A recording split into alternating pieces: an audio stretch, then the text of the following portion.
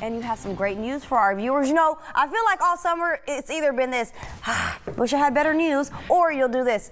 Got some good news and some bad news. I know. But today, I, good news. Good news.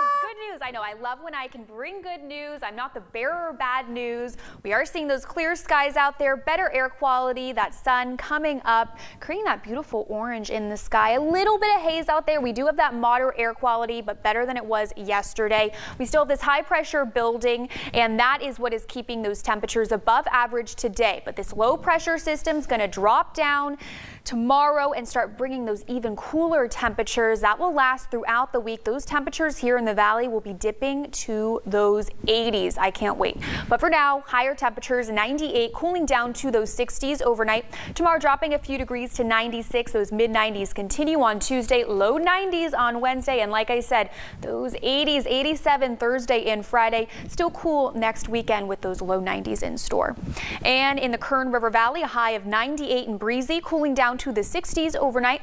Tomorrow, similar temperatures, but dropping a few degrees to 94, 92 on Tuesday, and then even more to those 80s until Friday, back up to the 90s on Saturday.